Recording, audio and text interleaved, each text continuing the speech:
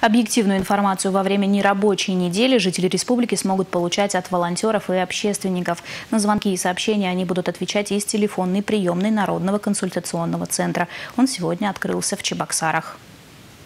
Волонтеры готовы отвечать на любые вопросы жителей, будь то ситуация с инфекцией в России и Чувашии, компенсация за вынужденные дни отдыха на карантине со стороны работодателей или же психологическая поддержка. Обратиться в Народный консультационный центр можно будет в рабочее время в будни с 9 до 5 по телефону 62 25 56 и круглосуточно по электронной почте и в мессенджере WhatsApp по номеру 8 937 017 02 40 что сейчас от граждан поступает а, в разные органы исполнительной власти и в Роспотребнадзор, и в Минздрав большое количество звонков, мы создаем свой колл-центр, чтобы помочь им взять на себя часть вот этой нагрузки по доведению до граждан объективной информации, возможного консультирования и координации с региональным штабом по противодействию коронавирусу.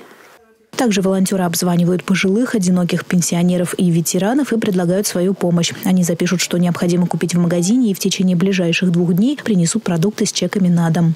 Может, вам нужна помощь наших волонтеров в приобретении и доставке продуктов или лекарств? Ну, кстати, пока нет, нормально. Ага, пока нет. Да, пока. И вот я хотела вам сказать, мы попросим вас по возможности реже выходить на улицу, чтобы избежать, избежать возможного заражения. Также в Народном консультационном центре продолжают мониторить цены на продукты и медикаменты в магазинах и аптеках Чувашии.